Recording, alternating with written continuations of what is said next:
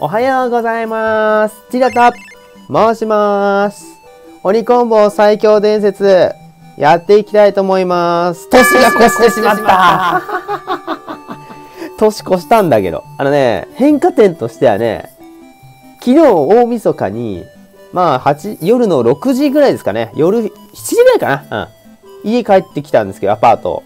隣人がね、1階から2階目あのーどこにも、人がね、いる感じがないの。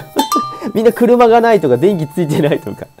その中で僕はね、アパートの平和を守るね、アパート警備員という新しい職を見つけました。いいな、みんな実家帰って。俺帰れねえよ さあ、えー今までコロシアムセンターでね、初級職、上級職ともね、まあ、こなしてきました。なんとか、フレッシュマン、マスタークラスともね、すべて、なんとかクリアすることできました。年末までにここまで終えれたんで、まあ満足ですね。なんだったら、ケンジは昨日ですね。大晦日にね、なんとかクリアしましたね。あとは、代表勇者決定戦を残すだけになります。これ一つ難題がありまして、今までの決勝戦、職業決定戦ってのは、決勝戦で負けてもシードになってたんで、決勝のやり直しが効いたんですよね。しかし、代表勇者なんと、4回勝ち抜きです。さあ、代表勇者を決める大会がスタートします。つまり、4回戦で負けるとまたこのオープニングを見るということになります。さあ、勇者らしいな。おめえらのパーティー豪華だな。俺のパーティー見てみろよ。いつも同じだぜ。最強の勇者を決めようや。鬼コンボという勇者に震えるがいい。さあ、えー、ドラゴンクエスト7の曲に乗せながら、バトルロードファンの皆様、そしてプレイヤーの皆様、そして鬼コンボを大好きな皆様、日本一へと続く最初の関門、関門すぎない 関門すぎない 代表勇者のそれかけて熱き勇者のバトル。これはね、街の NPC 全員ですね。ブーヤン以外の。ブーヤンは忘れられてます。はい。で、今までの職業の扱いのリュータ以外の4人が立ちはだかるわけですね。ついに戦いの時が来た小さな勇者たちをこの戦いに勝ち、王者決定戦を出動切符を得るのだ。まあ、店舗大会みたいなやつですよね。全員集合。まあ、リュータは、えー、まあね、戦いません。リュータがいたらもう、数多くの実況者が失踪してくれて思います。さあ、問題はですね、僕が危惧してるのは、最初に負ける分にはいいんです。ここの、代表勇者決定戦における、決勝戦パーティーが正直この縛り、とんでもねえ鬼門だったりします。さあ、1回戦は匠です。まあ、僧侶とかの外役戦法を好むね、キャラなんですけど、まあまあ、ここでまあね、ぐだぐだして負けるならまだええかなって感じです。気持ち的にはね。さあ、何のパーティーで行こうかな。今回に至っては代表勇者決定者なので、まあ、すべての職業が使えることになります。なので、僕の取れる、あの、戦法は2つです、主に。鬼コンボを使って、SP を自由にする。だから相手によって戦い方を変えることができる。鬼コンボ。ただし鬼コンボの性能は、もうここまで来るとかなり厳しいっていうか、もうもうすでに厳しいわ。何回死んだと思ってんだよ。まあ、SP を自由にすることができます。職業を使うとですね、まあ、一部の魔法使いとかは無理ですけど、まあ、職業者が発生しない分無理ですけど、まあ、職業相性が発生するバトマスや僧侶、戦士などは安定した耐久力と火力が得られるわけですよね。ただし、SP が鬼コンボ。まずはですね、鬼コンボでいきたいと思います。バカ代表勇者になるのは俺だと言わんばかりに登場しました。あのさ、何やるか分かってんのかという話なんですけど、一回これでいきましょう。鬼コンボ最強伝説なんです。鬼コンボが使えるんですよ。最近職業しかやってないからね。なんか何パートに分けてようやく鬼コンボ出てくるから影薄いもんな。ちょっとここで一気に勝ってさ、株が上がるかもしれませんよ。行こうや、鬼コンボ。もう相手からしても、なんで合体モンスターなのって。あの、モンバト最終期に鬼コンボはどうかと思うわ。ゲリオンやスラリンガルなら、あ、こいつやったわって思われると思う思うんですよ。店舗大会とかでも、あ、こいつやったと。鬼コンボ さあ、本日もね、鬼コンボがコロコロとひっくり返されます。ひっくり返してコロコロコロと木琴の音が鳴り響くわけですよ。コロコロっと。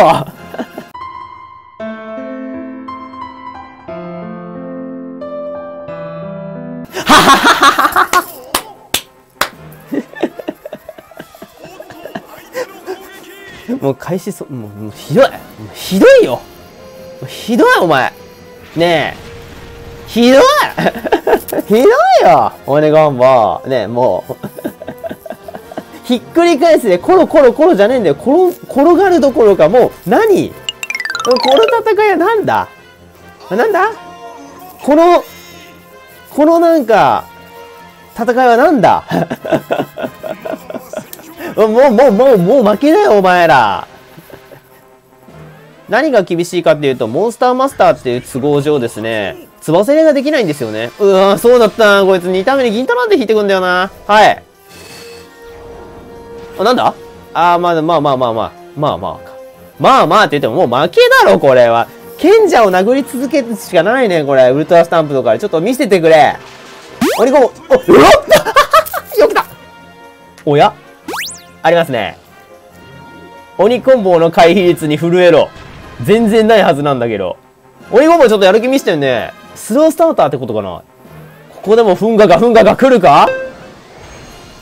いや、まあ、レ、でもね、レジギガスだってね、起きたら強いっすからね。お前はね、眠れるわ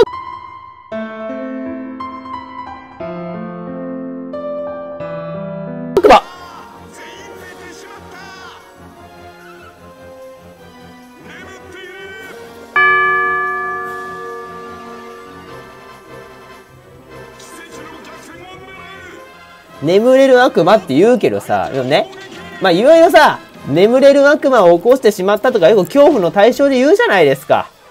寝る悪魔がおるか ひでえ、俺、おい、言っとくけどさ、これ、1月1日の初収録なんだよ、お前。お前何してくれてんの、お前。1月1日の初収録で、お前何してくれてんの、ほんとに。ほんま、もう俺、もうね、グーの音も出ねえ。ね、グーの音も出ないの。よかったね、お前、一回戦でようやく動いた。ようやく、ようやく動いた。初攻撃です、3ターン目にして。これさ、でもね、3ターン目に、主人公がいる関係上、勇気溜まっちゃうんじゃないかな。もう一、これ勇気溜まって負けじゃないかなって思ってるんですよ、正直。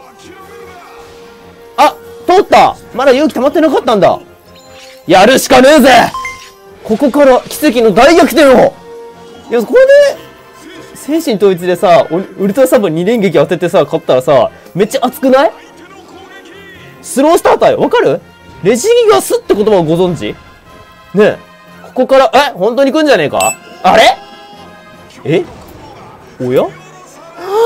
はい。あ千六千六千六あと一発あと一発あと一発。オリコンボオリコリコリコンボ あの、あの、レジガレス。あ、ゴミ完成死ねクソ。神は言っている。ここで死ぬ定めではないと。は今までのは夢か。ということで代表勇者を1回戦か4回戦で負けると、なかったことにされます。あの、だから、あの、今までのは夢ということになります。はい。なので、もう一回行きますね。あの、何事もなかったかのようにね、また会話が進むんですね。ほら 代表勇者がね、あの、このままいけるんですね よし、今のは夢落ちだ。解体工事ってもう、鬼コンダメです。解体工事しましょう。解体工事をします。というわけで、SP を今度はオリコンボのみになりましたね。SP が選べません。SP がオリコンボ縛りの代わりに、えー、モンスターが分解されました。よし、行くか。まあ、この装備はバトマス大会をも使った装備ですね。さすがにさ ちょっとね、脳裏で浮かんでたんですよ。果実、果実、果実、果実って浮かんでたんですけど、さすがに果実使うのはちょっと大人気がなさすぎるので、まあ、ここはね、はやぶさの爪。ね、残念2回攻撃武器と言われたはやぶさの爪でね。この段階だと、はやぶさの爪は解禁されてるぐらいだからちょうどいい感じじゃないですかね。行きましょう主人公が全てにかかってる。行くぜ !4 連撃せーの !1、2、オッケーさあ、4連撃をしっかり当てて、打点を取っていきたいところ。はやぶさの爪の、バーカーいいね !400 出てんなら大丈夫だ。鬼コンボのウタースタンプと一発と同じぐらいかな。さあ、お前やっぱ左右されるんだあれれかわいいやっぱり大きいうちに全て左右されるんだよな、お前。もうこれ職業大会使うとき毎回絶対に左右されるね。100左右されるよな、お前に。この大木ルに全てがかかっていると言っても過言ではないんだよな。大木ルを使った場合。ただ、コングヘッドとアークデーモンは100組めないんですよね。さあ、君も大事だ。命中率。あんだよね銀太郎切りますね、ここ相手。次銀太郎切られるんだよなちょっとさ、大きるとさ、待って、大きるとこのことお前ら何もしてないってことなんですよ、これもじゃおい おい質の悪い鬼コンボを使ってる気持ちになるのやめてくれ。ここで、つばぜしましょうか。最悪の事態は回避しておきましょう。すべての攻撃をガードするとかいうふざけた効果が時々あるんでね。よっしゃと、最悪逃げ切りあるよ。最悪逃げ切ろう。さあ、ここに銀太郎切られるんですけど、一番怖いのはダメージ系。なんか強烈なダメージ与えるやつがあるんで、それだけは引きたくない。はいおー はあ、はあ、へえ、はあ。これはどういうことだ？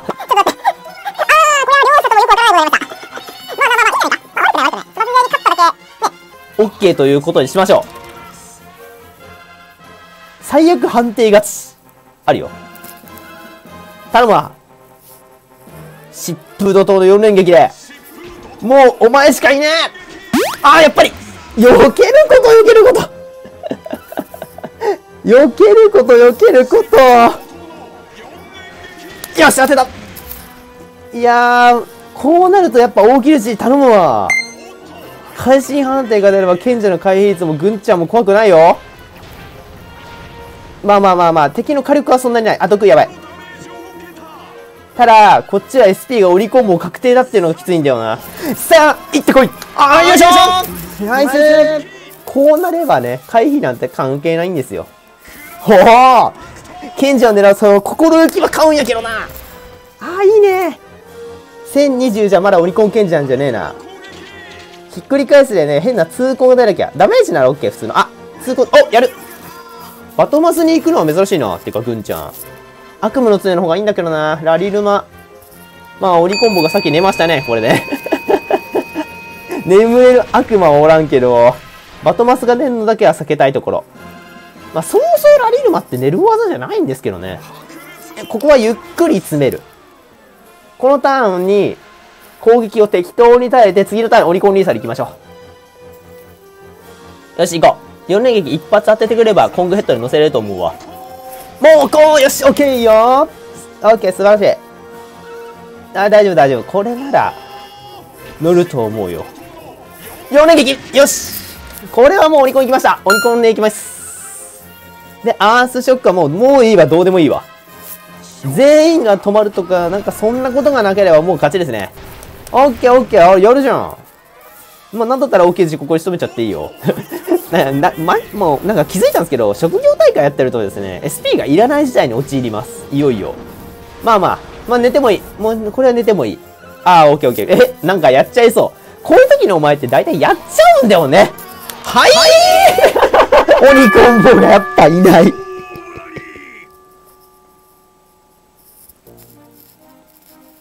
さあ、匠を制した後は、ひなだったっけ？確か。ひなが、翼だよね。そうだね、ひなだね。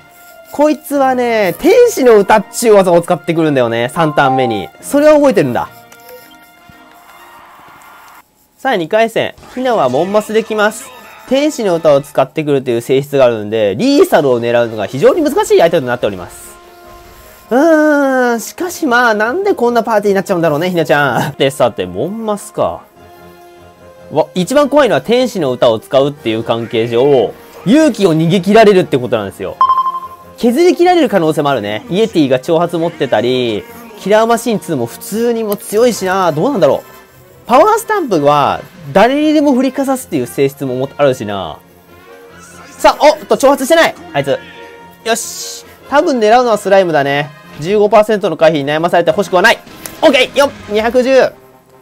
オッケーオッケー大丈夫。しっかり当てれば大丈夫だよ。とにかく4連撃を当てていくしかねえぜ。オッケーよっよし。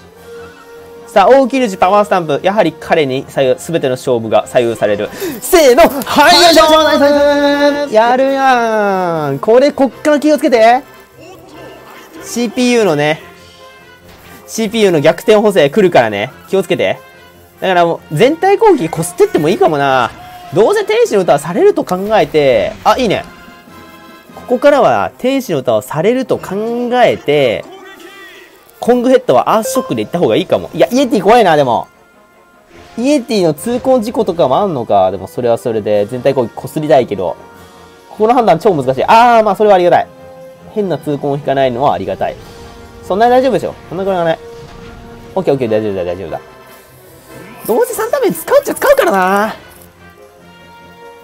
うまいこといけば、天使の歌を使う前に仕留められるんですけど、スラストライク。うーん、それ痛恨くるね。